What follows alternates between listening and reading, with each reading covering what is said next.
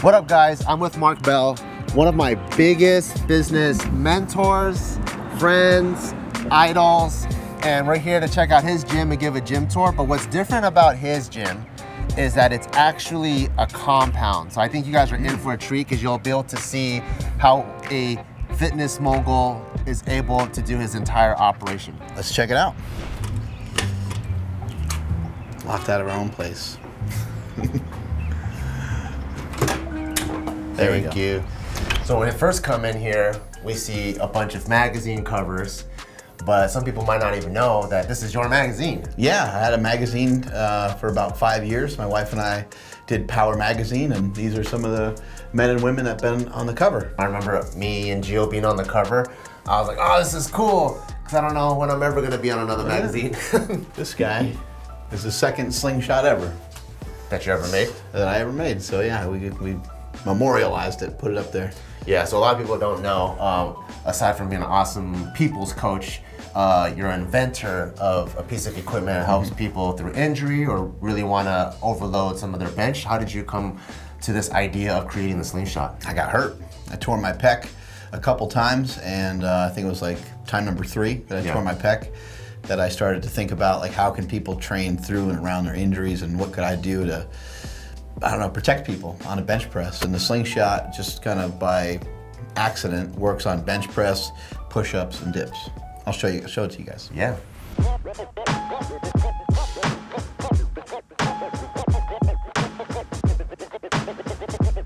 This entire place is uh, is built off of the slingshot. So, being able to afford this entire place, the gym is actually free. Super Training Gym is free. 855 Riverside Parkway. Anybody ever wants to come in, the gym's free. There's no. You're Uh, gonna get a ton of Asians coming in here now. that's okay. That's okay. There's uh, there's there's no strings attached to any of that. It is actually free. So just uh, hit us up on Instagram and you can come in for free. How big is your compound? Uh, this place is like about 25,000 square feet, 23,000 square feet, something like that. That's sick.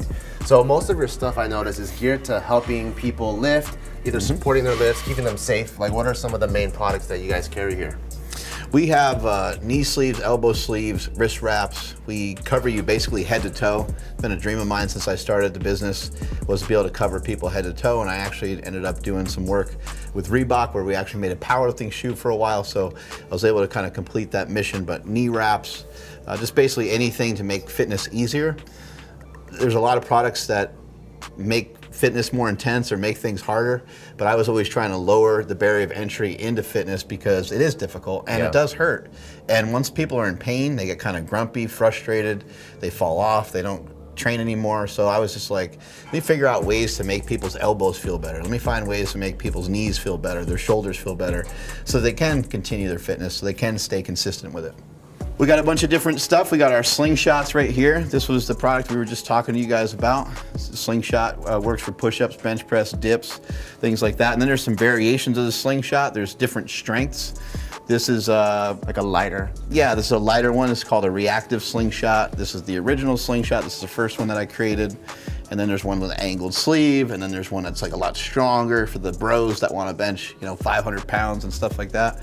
And then this is a slingshot push-up, which helps people with their push-ups. Uh, a lot of people struggle with push-ups, so this one just has double the material on the on the uh, inner part here, which gives you a little bit more support for push-ups. Uh, if we come over here, we got a little bit of apparel. We got some stuff over here, some shirts, some shorts, some sweatshirts. We got hats. We got socks. We got all kinds of shit. And then over here, we have hip circles. Um, this product right here, this guy. Pew. the hip circle is uh, a product that you've seen knocked off by every single company uh, that exists in fitness, but I created that. I created the whole space. You guys can thank me later for girls having big asses on Instagram. I basically created that because I created this product and it helps make your ass How do you feel about people knocking it off? Has it like I it feel, great. weird? No, I feel great. Feels- you feel yeah, it's okay? I look at it more of a positive. You know, everything is your interpretation, and like, why be uh, being mad about it, it's not going to assist anything. Yeah. So I just look at it. I get like, mad for you. I'll see people come out with it. I'm like, what? That's just- Mark. Don't you know Mark? Mark's the, the most lovable guy in the world. I feel Yeah. bad. I just I just view it as a I came up with a good product, came up with a good idea, and so of course other people are going to take it and, and want to enjoy the success of it as well. Over here we got knee sleeves. We make a lot of different types of knee sleeves. Is this your newest one? The X sleeve is yeah one of our newer ones. It also has some grip in it too as well. Oh, nice. So Oh, it like catches that. it catches the knee. Yeah. And it kind of stays put because sometimes some the, the the knee sleeve might slide down, especially if you have kind of bigger quads. Yeah.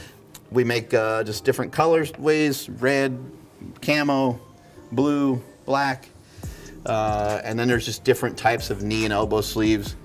These are like not as stiff. These are a lot looser. We call it a sport sleeve. And then for power lifters, they like having the thicker sleeves that are going to actually assist them. Yeah, as much to lift, rebound as possible. Yeah, and to lift more weight, basically. Um, so like you have all these office spaces here. How do you utilize Oh. all of these, and what's the purpose for all of them? well, here, let's let's let's play it out. Go ahead and sit in that chair over there. Okay. All right.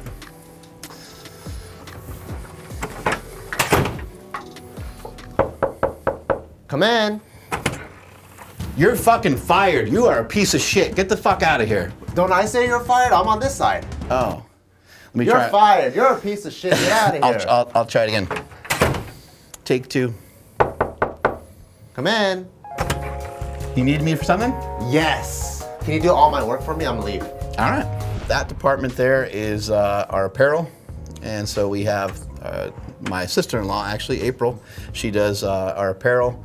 The next office over is our boy Smokey. The next office over is uh, Jessica Smith. This is our conference room. And uh, we have meetings there every once in a while where we'll bring in the whole team. Sometimes we might have kind of more department meetings, like the media will meet up in there. Well, this is my office here. Might as well make a pit stop in here for a second. Um, my my wife mainly uses this office, so I'm not in here all the time. I do have a hat that I think you would enjoy. This is this is amazing, especially, since you're in LA. Look at that. So I'm a big fan of like of gas station hats. Like that is the that is the worst. My brother bought me that. You got That's this at the gas station? yeah, that's the worst hat I think I've ever seen. These are some of the trademarks that we have. There's kind of a lot more than just what's here, but these are most of them. I actually did trademark Jackson Tan. Oh, cool. And then uh, up here, we got um, three, those are three United States patents. Wow. Slingshot. And you only get those if you actually invented something, right? Yeah, yeah. Yeah, those took a long ass time to, to get. Nice hat, dude. Thank you. Let's go check out the gym. Look at this guy's nipples. Yeah, who's that guy? I don't know.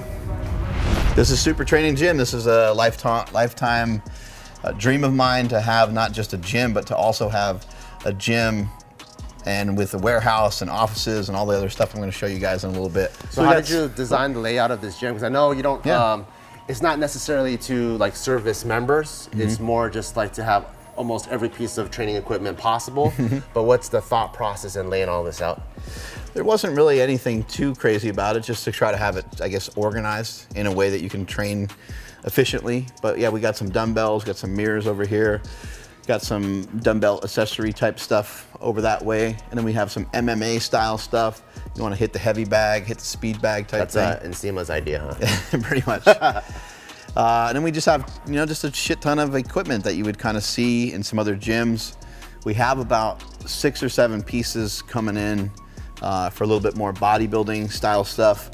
But yeah, the uh, the turf and things like that are just, uh, I don't know, just to do stuff that's not so boring. You know, just like walking on a treadmill or just doing regular cardio is kind of a pain in the ass. So we drag the sled up and down.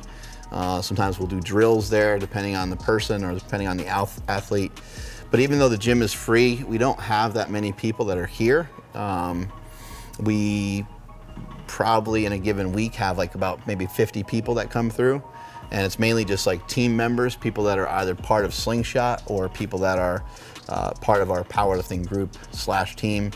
And uh, it's the gym is set up to shoot really. The gym is, is designed and set up so that we can film more so than anything else. Yeah, it's really inspiring to see what you've done with not just the gym and the compound, because this is, I think, the third super training I've been to. And each time it's like you just outdo the last one, and it's just growing at such an exponential pace. It's so awesome. yeah, just always trying to make things better, you know, figuring yeah. out ways to make things better. Just like any other good powerlifting gym, you know, one of the key components to it is to have a lot of different barbells. So we have just a shit ton of different barbells. We got, you know, anything you can think of to help get you stronger, we're just in favor of. And we just, I've just over the years have acquired it because I'm like, hey, shit, if that helps, then I'm gonna grab it. You know, I'm gonna get it. Yeah, I think your gym is the only place I've ever seen. This is called a Mastodon bar, right? Oh, yeah, yeah. How many, like, because like what people see is you have the normal power bar, that's 45 pounds. Mm -hmm. Then you have a squat bar, which is 55 pounds. Um, this bar is how many pounds is it, and then what is it made for? Yeah, it's 65 pounds, and then it has an 65. Yeah, and it has an elongated sleeve, and then the knurl on it's really tough, and you can see how just freaking fat the bar is. Is this for like to load 800, 900,000 pounds? Yeah, it's for people that, yeah. you know, years ago when I competed in powerlifting, uh, people wore powerlifting equipment. They wore like squat suits and bench shirts and things like that. So that bar is specific for big, big squats, people squatting 1,000 pounds, 1,100 pounds, 1,200 pounds. And I think more recently, I think somebody's done like, I want to say 1,300 pounds, I wow. think. yeah, it's pretty wild. But you don't really need the bar anymore because people don't really lift that way anymore. The sport has changed quite a bit. People don't really lift with powerlifting gear as much anymore. So it's just kind of a, a dinosaur now. Uh, this guy over here, this is uh, this is a product I made with Rogue Fitness. These are called. Sent, you sent us a pair of these too. Yeah. We still have them at the gym. Yeah, these are called wagon wheels, and it just you could see how much bigger it is than a.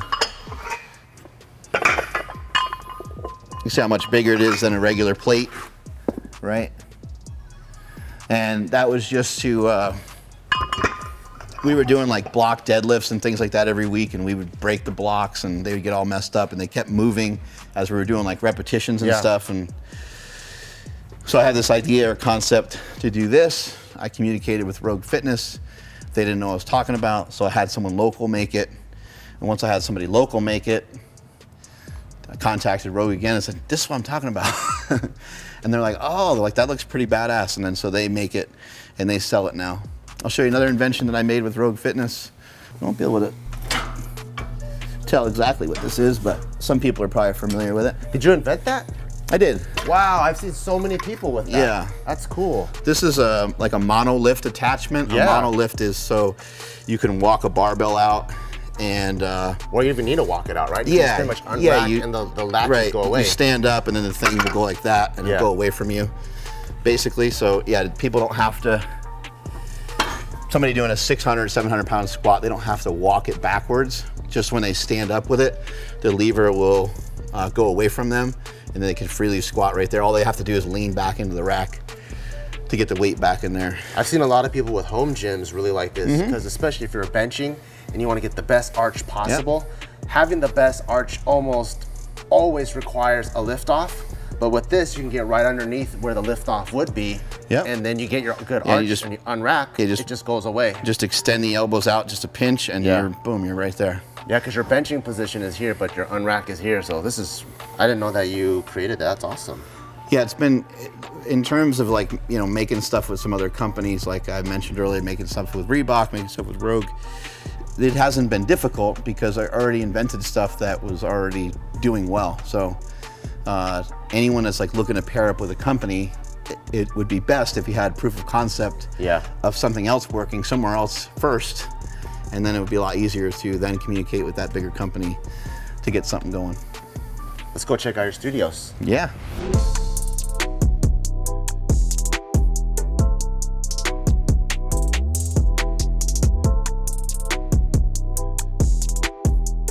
Here is the podcast room. Do I turn this light on? It, will pop on. Oh, wow. Yeah, this is a podcast room. We've uh, done over 500 podcasts of this particular podcast. Uh, before that, I did about 400 podcasts. So we create a lot of content. You can see we got tons of different cameras here that we switch on and off from. My boy Andrew Zaragoza sits back there. and Seema's up here with me. And uh, we talk to guests from all different walks of life. There's just kind of more, there's some more storage shit in here. This guy's in here. Oh my God, it's Brian Shaw. Is that life size? Pretty much. Want to stand next to him? Yeah, how tall I mean, he? he's a little. He's actually like a little taller than that, I think. But he's got you beat by at least an inch. foot. And this is the other studio that we're building out. So we're gonna change our podcast room to being over here. And then this side, I think we'll probably have a little bit more of a casual setup. Maybe there's a couch, kind of a sit down interview type of thing. Um, but yeah, we're excited to, to get this rolling. This would probably be about another month or so. These are just a lot of just products that we went over over the years. It's like buckets and buckets of stuff. You know, you try out different different patterns and different Nice. different colorways and different. Uh, So a lot of these things probably didn't even make it to market. It's just like Some of them- Mm-hmm. testers and like R and D. yeah, some of them did, some of them didn't. Um, Some of them someone just used and probably just threw it in here. right. Some of them were successful. Some of them not so much. Some of it's like some of my own old like powerlifting crap that's in there. In here is um, we have uh, uh, lifting belts. We have knee wraps, knee sleeves, wrist wraps, slingshots, hip circles. I mean, it's got all the products Yeah. that I showed you guys in the store. It's all right here. Uh, all this started out with just my wife and I, you know, shipping uh, just a few orders every day, you know, from our from our- Garage. From our, garage, and then us kind of like messing that up. And our neighbor next door, they were literally across the way, and they could see into our garage, and they would see us. We'd have some of these packages and stuff. And my neighbor, I, I saw him at the mailbox one day, and he was like, "What are you guys? What are you guys doing? Like, what do you have?" And we, I said, "Oh, well, I have an invention. I created a product called the Slingshot, and uh, we're receiving and shipping from our garage. That's why you see us out there all the time." And he was like, "Oh," it's like, "Well, I do logistics." He's like, "So if you ever need any help," and I was like, "Well, we only do like five orders a day." I was like, "We'll never need you. we'll never need your help," you know. And then it's just a couple months later uh, that we're starting to sell 10, 20, 30. And then there's like buckets of stuff, you know, go, going out all the time. What's like a typical order amount a day now? Do you know? I don't even, you know, I don't, I keep myself, I'm not even really allowed in here in this warehouse part. Yeah. They keep me out of here pretty much. Uh, I stay out of the numbers. I don't Gotcha. ever really look at them. Um, if something goes off real big, uh, I hear about it, but uh, anything that's uh, kind of eh, more shifted more towards the negative side, I definitely don't know hardly anything about that. Yeah. The group is actually really good about like they'll be talking about something and they usually just like kind of stop when I come around. Because I, I never like to have that stuff sway me one way or the other. Even when things are going really well, I'd rather just not even know about that either. I all I'm interested in is making the world a better place to lift and continuing to make the way I'm going to do that is to continue to make great products for people. Yeah. And so that's where my focus is. Anything that takes me off of that just probably isn't great. So I try to just focus just in on that. That makes sense. That's awesome. Show you the rest of the spot. And there's Casey right there, my neighbor.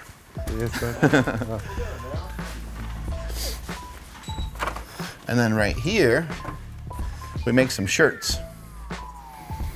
We have some printing things over here. Obviously, I don't know how to do any of this stuff, but uh, this machine doesn't physically make shirts, but it can print just about anything on a shirt. Um, we don't always make shirts. Sometimes we outsource those. Uh, sometimes we'll grab that old school kind of uh, heat press Yeah. type thing and just put someone's name on the back of a t-shirt just to it could be a, a friend of ours or whatever and just stick their last name on the back of it and then this over here both these guys these are some old school squat suits Wow. Check that out That's crazy. they're made out they're made out of like uh, canvas That's insane. right I feel like these belong in like a powerlifting museum. like a hall of fame yeah, we need to make a museum That's cool. don't sniff the crotch of those No, I won't. And then this is, uh, in here we have yet kind of another studio. And uh, we do a lot of filming in the gym and we, we film a lot of stuff in there. And uh, one thing, I, one aspect I wanted to try to bring to this was to be able to film stuff, uh, kind of like record it live, just like we do with the podcast. And I wanted to do like tutorials on like how to squat, how to bench, how to deadlift. And so ideally, when this is all done, we'll have cameras set up uh, that will that will work work well for that. Then over here, we're building uh, a uh, infinity wall type of deal for photo shoots and for videos, and uh, just trying to just I don't know, just optimize stuff, optimize everything so that we can just continue to move more efficiently and be more effective. Thank you, Mark, for showing us your super cool compound. I always look at you as kind of like the trendsetter and pioneer of what's possible in the fitness business space. I remember, you. I appreciate uh, that. Yeah, I remember even before opening uh, Barbell Brigade, I would watch your videos where uh, you would turn your hat sideways and you would rap about whatever inspired you that mm -hmm. day, whatever lessons that you learned from fitness that you can apply to life. So seeing what's possible, having a free gym, having all kinds of inventions that help people, seeing almost like your own little like Warner Brothers or Paramount Pictures all put together is super inspiring and thank you for sharing it with me. Thank you, I appreciate it. Thank you guys for watching. See you guys next time. Bye-bye. Perfect. Let me take you through the warehouse part a little bit too? Yeah.